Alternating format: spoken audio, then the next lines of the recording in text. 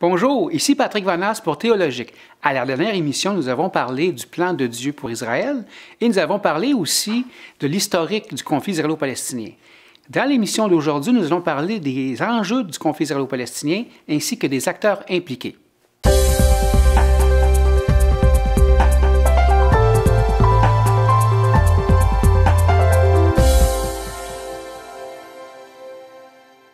Donc, parmi les différents enjeux du conflit israélo-palestinien que nous allons voir aujourd'hui, le premier étant celui des réfugiés. Euh, l'origine, évidemment, de cette situation-là est la guerre de 1948-1949. On a vu lors de la dernière émission qu'Israël avait agrandi son territoire. Et dans ce territoire-là qui était conquis, comme on peut le voir, par exemple, sur la carte qu'on voit ici, dans les zones qui sont en vert foncé, que ce soit en Galilée au nord autour de Jérusalem et en la Judée-Samarie au centre, ainsi que dans le Negev, dans le sud, il y avait des Arabes qui vivaient là. Une partie quand même un peu importante de cette population-là est demeurée sur place, euh, malgré la guerre, malgré évidemment la conquête par Israël. Ils étaient environ 150 000 Arabes à l'époque. Euh, aujourd'hui, cette population représente ce qu'on appelle les Arabes israéliens. C'est environ 22 de la population euh, israélienne ou 1,9 million d'habitants. De l'autre côté, euh, dans ces, de ces territoires-là, il y a environ 700 000 Arabes qui ont quitté. Euh, certains ont quitté, euh, évidemment, fuyant les combats. D'autres ont quitté parce qu'en faisant promettre par l'armée arabe, les autres armées arabes quittaient pour revenir dans peu de temps. Et d'autres ont été expulsés, malheureusement, aussi par l'armée israélienne. Et ces gens-là euh, ont été évidemment ce qu'on appelle les réfugiés. Donc, les réfugiés se sont répandus un peu partout, que ce soit en Judée-Samarie, euh, dans les territoires qui n'ont pas été conquis, euh, dans la bande de Gaza aussi, ainsi par exemple que dans les pays voisins, dont la Jordanie ainsi que le Liban. Et aussi, ces, ces gens-là vont devenir les réfugiés israéliens, palestiniens plutôt. ces réfugiés-là, finalement, ils ne voudront pas retourner euh, ils ne voudront pas plutôt euh, demeurer où ils sont, ils vont plutôt vouloir retourner en Israël. Donc, depuis 1948, les réfugiés étant restés où ils étaient, la population de ces réfugiés-là a augmenté de façon considérable, ce qui fait qu'aujourd'hui, en 2019, ils sont 5,4 millions, dont un tiers habitent dans des camps qui sont gérés et financés par l'ONU. Et parmi ces, populations-là, sont réparties un peu partout euh, dans le voisinage, par exemple en Judée-Samarie, euh, territoire évidemment qui a été conquis par Israël en 1967. Il y en a aujourd'hui 800 000. Il y en a environ 1 million 400 000, 1 million 400 000 plutôt dans la bande de Gaza. Il y en a 2 millions 200 000 en Jordanie. Il y en a 550 000 euh, en Syrie ainsi que 450 000 au Liban. Euh, on voit sur la photo ici, par exemple, qui est illustré un, camp de réfugiés tel qu'il est aujourd'hui. Évidemment, ça ne ressemble pas à un camp avec des tentes, mais c'est vraiment des maisons bâties sur le dur de façon quand même assez permanente. Euh, euh, chose inusitée aussi, c'est que ces réfugiés-là sont considérés par le monde comme des réfugiés, par contre, la plupart, à peu près, euh, quasiment toute la population des réfugiés aujourd'hui n'a pas connu, évidemment, la guerre de 1948. Ce sont des descendants. Plusieurs de réfugiés de 1948 sont aujourd'hui décédés, mais sont toujours considérés comme des réfugiés. Évidemment, ces réfugiés-là, euh, les Palestiniens aussi, les, organisations palestiniennes souhaiteraient que tous les réfugiés, les 5,4 millions, reviennent en Israël.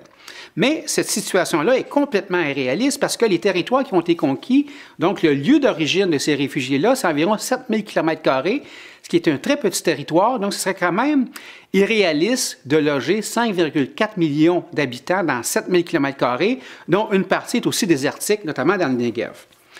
Deuxièmement aussi, c'est encore plus important, c'est que le retour de 5,4 millions de réfugiés en Israël euh, amènerait une, menace démographique importante pour Israël, parce qu'Israël ne serait plus un État juif à grande majorité, parce que présentement, en Israël, on a 6,7 millions euh, de juifs. On a déjà 1,9 million euh, d'Arabes israéliens. Si on ajoute les 5,4 millions, on se retrouvait avec 7,3 millions d'Arabes. Donc, on aurait plutôt un Arabe, un État plutôt avec une, euh, euh, une population légèrement majoritairement arabe. Les positions. Les positions des Palestiniens par rapport à cette situation-là, les Palestiniens voudraient un retour des réfugiés. Mais par contre, ce qui est quand même assez ambigu, c'est qu'il n'y a, jamais eu vraiment de, chiffres qui aient été donnés. Euh, les Palestiniens sont quand même conscients qu'il est impossible que tout le monde revienne en Israël. Euh, et les demandes ont été variables selon évidemment les, acteurs euh, palestiniens. Évidemment, certains groupes plus extrémistes, par exemple, comme la Hamas, voudraient le retour de tous les réfugiés.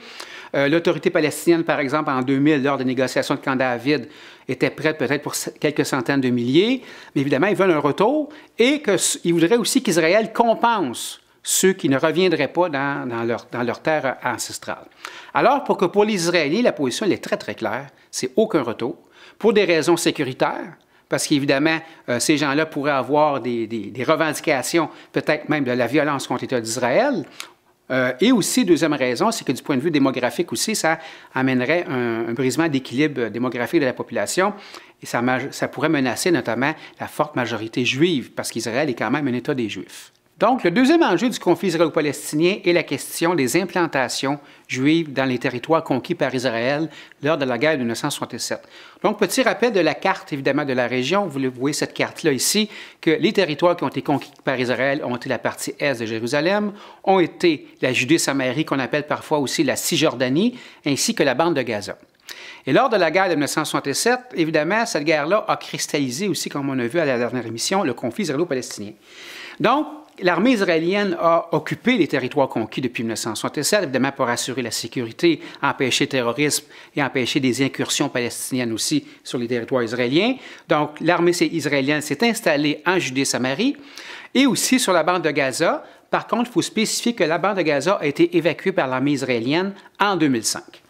Et donc, la construction des implantations juives s'est faite à la suite, évidemment, de cette conquête-là. Ça s'est fait de façon quand même progressive. Au début, il y en avait quand même peu, mais petit à petit, au cours des années, ces implantations-là se sont multipliées. Et aussi, avec le retrait de l'armée de Gaza à Gaza, par exemple, en 2005, les implantations ont aussi été démantelées en 2005. Donc, comme on peut voir dans le tableau suivant ici, on voit dans le tableau ici à l'écran que le, le, nombre de Juifs dans les territoires de Judée-Samarie a augmenté progressivement. Il était quand même assez peu nombreux jusqu'en 1977 avec 10 000 euh, euh, juifs dans 43 implantations, mais ça a augmenté progressivement, autant au niveau du nombre d'implantations qu'au niveau des personnes. Ce qui fait qu'aujourd'hui, il y en a 415 000 qui habitent dans les implantations de Judée-Samarie et ils sont répartis dans 150 implantations qui sont ici planifiées euh, par l'État ici. Et euh, je vais vous inviter à regarder la carte suivante. Cette carte-là, évidemment, qui a plusieurs couleurs, il y a plusieurs euh, éléments sur cette carte-là, représente la distribution des implantations juives euh, en Judée-Samarie ici. Ce qui est important à spécifier, c'est que les, implantations en Judée-Samarie se retrouvent quand même un peu partout sur le territoire, mais ils sont aussi souvent concentrés près de la frontière israélienne euh, entre Israël et la Judée-Samarie, ainsi qu'autour de Jérusalem ici aussi. Euh, il y en a aussi à l'est, euh, près du Jourdain ici aussi. Il y en a aussi autour de Hébron. il faut dire aussi, lorsqu'on va, va parler dans une prochaine émission des zones A, B et C, il faut simplement se rappeler que les implantations se situent simplement en zone C. Donc, retenez ce mot-là, zone C, parce que ça va être important euh, dans une prochaine émission ici. Donc, maintenant, on va voir pourquoi Israël a-t-il construit des implantations. Il faut quand même souligner que la communauté internationale, les pays arabes, les Palestiniens aussi, euh, ont mal réagi à cette construction-là, réagissent quand même assez mal encore aujourd'hui. Par contre, il y a des raisons quand même valables pour Israël. La première, c'est que Israël considère que les implantations sont essentielles pour sa sécurité. Donc, euh, si on regarde par exemple sur une carte, la carte précédente par exemple, sur les implantations, on voit que les frontières qu'on appelle les frontières de 1967 euh, de Judée-Samarie sont peu sécuritaires pour Israël. Même certains vont parler des, frontières d'Auschwitz, évidemment en référence au camp de, concentration nazi de la Deuxième Guerre mondiale, parce que du point de vue stratégique, ce territoire-là, ça fait qu'Israël est difficilement défendable. Et surtout, si on regarde par exemple au nord-ouest de la Judée-Samarie, la distance entre la frontière de la Judée-Samarie jusqu'à la mer Méditerranée est de 14 km. C'est quand même très peu. C'est très peu large. Et du point de vue stratégique, c'est vraiment indéfendable. Euh, on va parler, par exemple, en, en, Israël de la taille de guêpe, parce que c'est vraiment très, très mince comme territoire. Deuxièmement aussi, c'est que les implantations vont servir aussi de tampon euh, pour prévenir des incursions euh, militaires, par exemple, euh, à partir de la Judée-Samarie, de la part des Palestiniens, ainsi que de l'armée syrienne, qui est toujours menaçante pour Israël. aussi, aussi c'est que les implantations vont servir à, on pourrait dire, tracer une future frontière d'Israël. Évidemment, le statut d'Israël présentement est quand même pourrait dire temporaire aussi, ces implantations-là peuvent tracer cette future, cette future frontière-là. Aussi, il y a eu des négociations israélo-palestiniennes dans le passé et les implantations aussi visaient à servir de monnaie d'échange sur d'autres sujets, que ce soit par exemple les réfugiés, la question de Jérusalem, le tracé des frontières. Donc, chez certains groupes, euh, certains gouvernements israéliens qui voulaient négocier des, des accords de paix avec euh, les Palestiniens, c'était aussi une forme de monnaie d'échange. Autre raison aussi, c'est que, et ça c'est plus récent, euh, c'est peut-être depuis environ les années 2000-2010 environ, 2000 à 2010, c'est qu'on veut rendre plus difficile la construction d'un État palestinien. On va voir dans la prochaine émission pourquoi que euh, cette idée-là, de moins en moins, euh, on dire, prisée aujourd'hui chez les Israéliens. Euh, de cette façon-là, parce que les, implantations, on a vu sur la carte précédente qu'elles sont implantées de façon assez profonde sur le territoire de la Judée-Samarie. Mais la plus importante, et pour nous encore la plus importante, c'est que ces, euh, ces implantations-là ont un aspect aussi religieux dans le sens que dans la Bible, si on regarde la Bible par exemple, il y a plusieurs euh, endroits dans la Bible, de l'histoire de la Bible, euh, où qui sont, se retrouvent par exemple en Judée-Samarie. Et on voit par exemple dans un, verset, Ézéchiel 37, 21, lorsqu'on parle des montagnes d'Israël. Les montagnes d'Israël, c'est quoi? Mais les montagnes d'Israël, c'est la Judée-Samarie. Euh, c'est là que se retrouve le territoire montagneux aussi dans l'Israël biblique dans le passé. Donc, chez les chrétiens et chez les Juifs aussi, ce territoire-là est primordial parce qu'il y a beaucoup d'aspects bibliques sur celui-ci. Donc, les territoires euh, qui se retrouvent en Judée-Samarie font partie de l'histoire biblique. Et si vous regardez sur cette carte qui superpose les anciens royaumes de Juda et euh, d'Israël avec le territoire de la Judée-Samarie, on voit qu'il y a vraiment une superposition entre les deux territoires. Premièrement, sur le territoire de la Judée-Samarie actuelle, euh, ce territoire-là va regrouper, par exemple, on va retrouver les anciennes tribus d'Israël, notamment, par exemple, la partie ouest de Manassé. On voit, par exemple, la, tribu d'Éphraïm.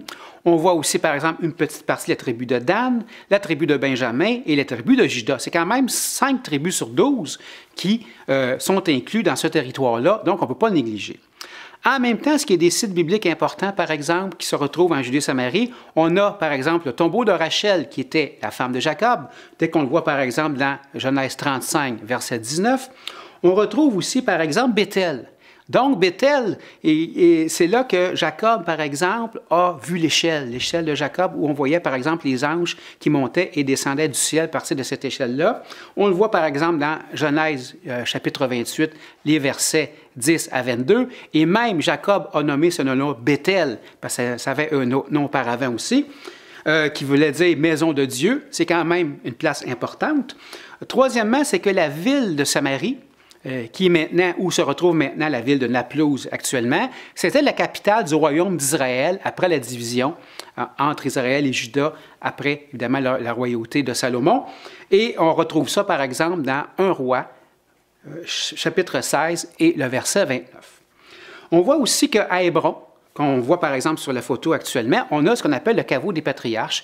Le caveau des patriarches, c'est tout simplement la tombe le tombeau d'Abraham ainsi que de sa femme Sarah, se retrouve juste, à l'extérieur de la ville de, Hébron. On le voit par exemple dans Genèse chapitre 25, verset 10. Euh, Jéricho, donc euh, lorsque Josué est entré euh, en Israël, par exemple, après l'Exode, il, est rentré, il est entré sur le territoire et la première ville qu'il a conquis, qui a détruite, était Jéricho. Évidemment, Jéricho a été reconstruite un peu plus loin, euh, le territoire de la Judée-Samarie, mais c'était quand même là où se retrouvait euh, évidemment cette conquête-là importante, tel qu'on voit par exemple dans tout le chapitre 6 du livre de Josué. Euh, Bethléem, mais il ne faut pas oublier que c'est quand même le lieu de naissance de Jésus. Donc, on ne peut pas négliger, évidemment, cet, aspect-là. C'est là que Jésus est né. là, on le voit, par exemple, dans le, dans le, livre de Luc, au chapitre 1, au chapitre 2, plutôt, au verset 1 à 7. Béthanie, qui est un peu à l'est de Jérusalem, dans plusieurs passages bibliques. Jésus s'y rend souvent. C'est là qu'habitent Marthe et Marie. C'est là aussi, par exemple, qu'on euh, va voir Lazare qui va ressusciter dans euh, Jean 11 aussi. Et on a aussi Sichar, Sichar où se retrouve le puits de Jacob. Et c'est à Sichar aussi que Jésus a rencontré la femme samaritaine, tel qu'on peut le voir, par exemple, dans Jean chapitre 4, versets 1 à 42.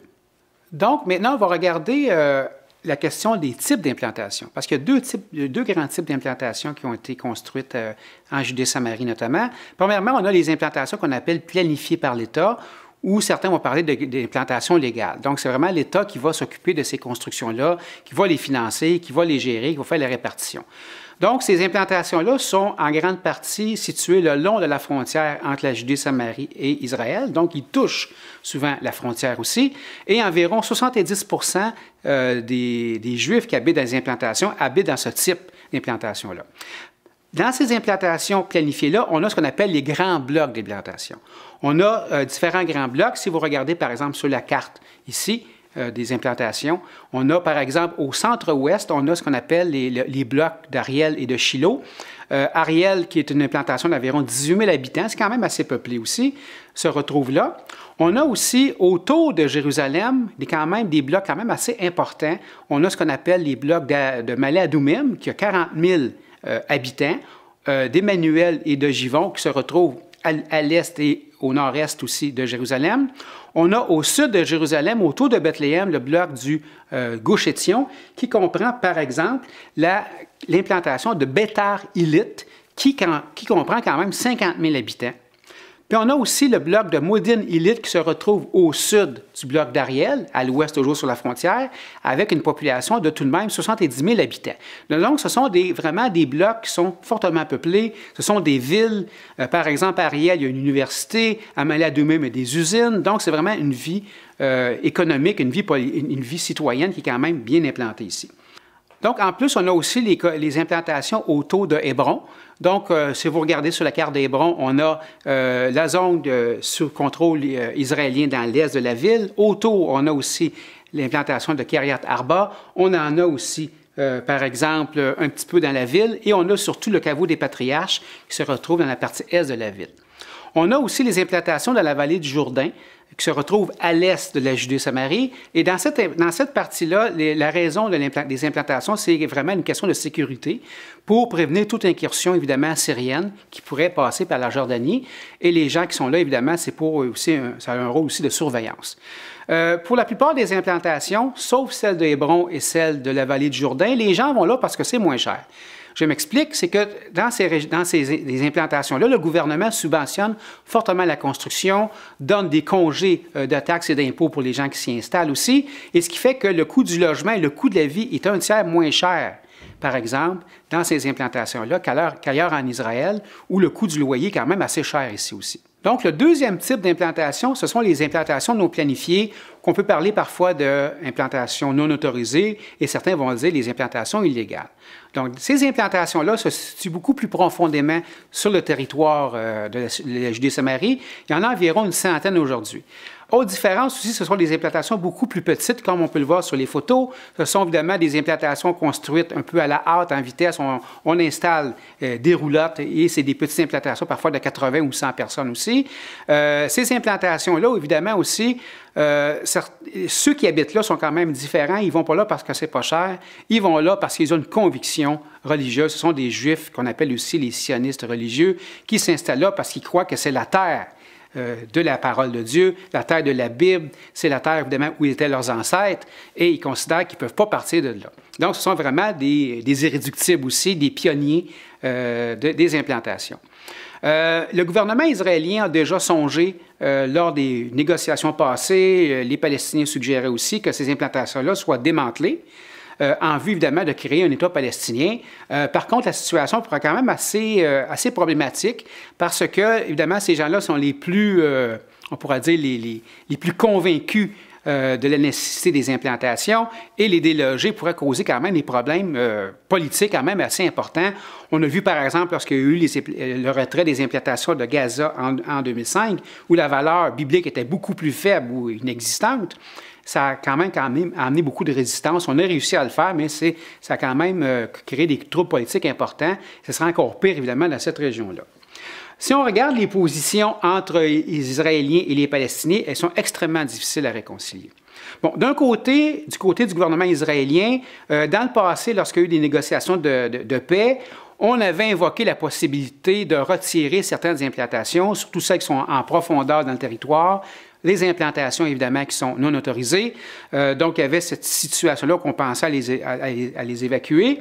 Sauf qu'aujourd'hui, depuis environ 2009, avec le gouvernement de Netanyahou, cette possibilité-là est de plus en plus éloignée.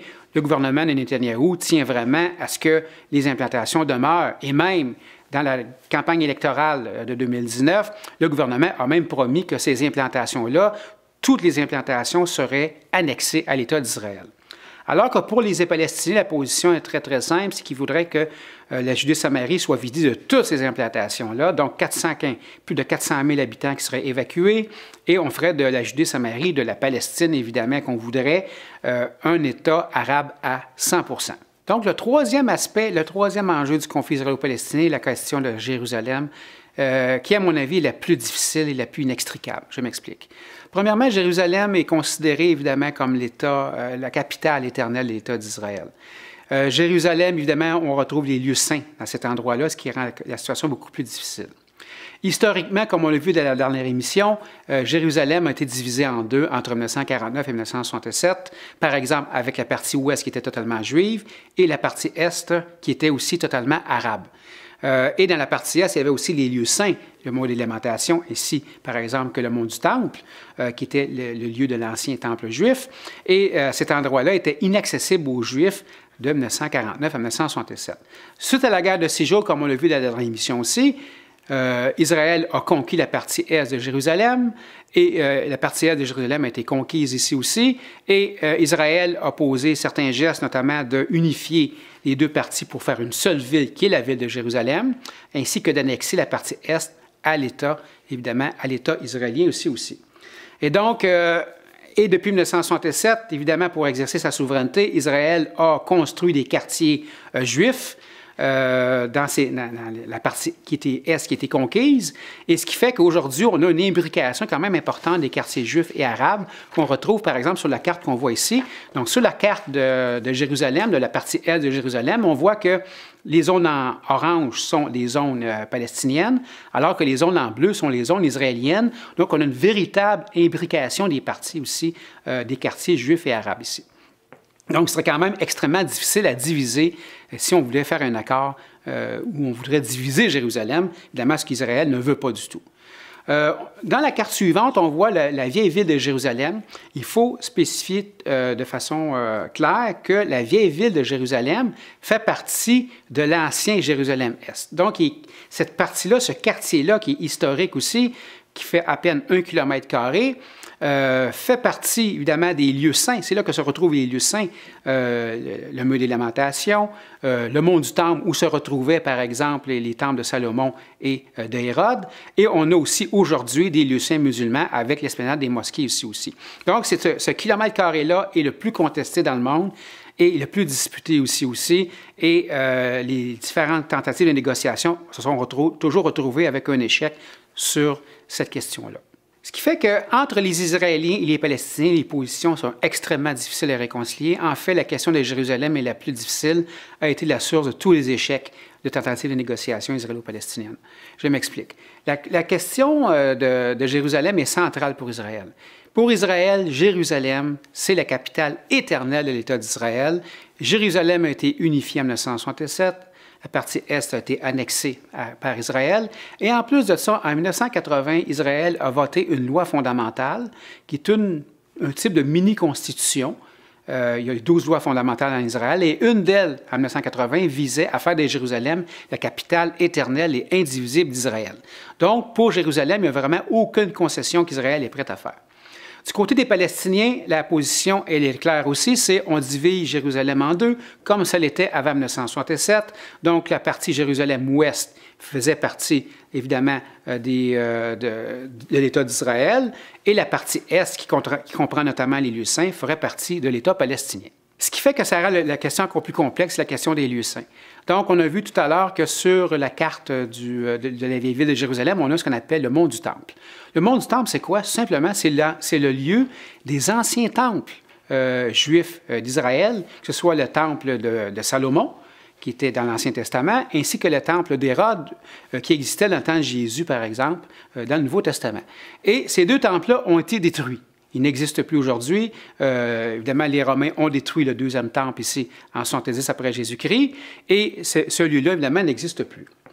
Après la guerre de, six jours de 1967, Israël avait la possibilité de reprendre le monde du temple et de construire un troisième temple.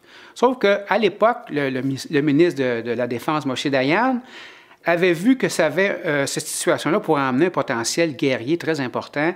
Il pourrait peut-être même créer une autre guerre mondiale, étant donné que pour les Palestiniens, il y avait déjà des lieux saints. Il y avait l'esplanade des, mosquées qui était là euh, depuis les années 600 après Jésus-Christ, et il n'était absolument pas question de détruire ces endroits-là, même si certaines personnes qui voudraient le détruire.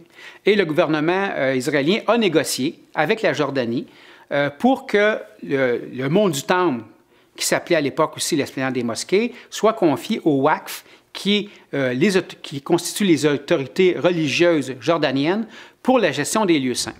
Et pour le WAC, évidemment, les lieux saints, c'est vraiment extrêmement important et on le voit de plus en plus aujourd'hui qu'il est très difficile d'y accéder si on n'est pas musulman, on ne peut pas emmener une Bible, on ne peut pas prier non plus et vraiment une surveillance très serrée de ce lieu-là. Ce qui fait que cette situation-là fait qu'on ne peut pas construire un troisième temple aujourd'hui sur ce lieu-là, à moins qu'il y ait évidemment un, événement divin qui va arriver par contre dans le, dans le futur pour évidemment amener un changement de la situation. Donc pour les musulmans, c'est intouchable. Du côté des Juifs, il y a certains groupes, par exemple, comme l'Institut du Temple qui se retrouve à Jérusalem, certains partis politiques aussi, certains groupes juifs qui voudraient reconstruire le troisième temple. Parce que pour, les Juifs, on ne peut pas recommencer, euh, on peut pas vivre vraiment la judaïcité de façon complète sans le temple et sans le système de sacrifice tel qu'ils étaient, étaient écrits dans l'Ancien Testament. Et si on regarde par contre dans le futur, et là c'est très important de porter attention à cela, c'est que si on regarde dans les tribulations de la fin, que ce soit par exemple dans l'Apocalypse ou que ce soit par exemple dans euh, le livre de Daniel qu'on parle des tribulations de la fin, le troisième temple, mais il va être reconstruit. Je m'explique, c'est que dans l'Apocalypse, par exemple, euh, au chapitre 11, versets 1 à 2, on, va demander à un ange de mesurer le temple.